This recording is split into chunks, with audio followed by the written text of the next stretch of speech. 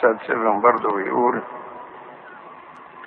عندما تتعارض مصلحة الإنسان مع مشيئة الله فالجواب المعتاد هو طبعا مشيئة الله تنفذ لكن المشكلة في الإجابة تتجلى على أرض الواقع حيث أننا عندما نترك كل شيء لمشيئة الله تهضم حقوقنا في معظم إن لم يكن في كل الأوقات.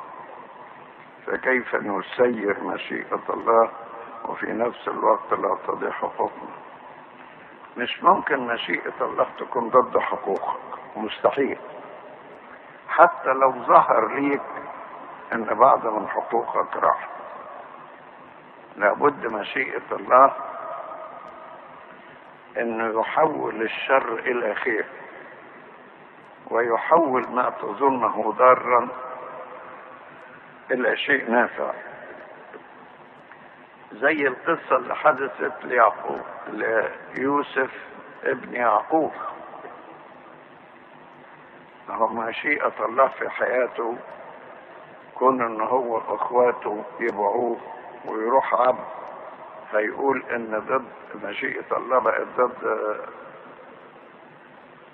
ضد مصلحته. هو طبعا دي ما كانتش مشيئة الله بقدر ما كانت سماح من الله. ومع ذلك الله حول الشر إلى خير. ويوسف قال لإخوته أنتم أردتم بي شرا والله أراد به خيرا.